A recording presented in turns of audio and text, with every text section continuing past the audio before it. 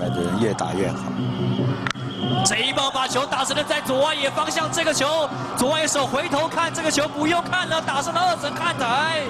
维纳斯打了一支两分打点全垒打，目前比数变成了四比零了。哇，这一棒是一个重伤害，两分打点的全垒打，而且到第八局的时候这两分哦相当相当的关键。维纳斯今天单场的第二支单打，而且两支单打都是长打。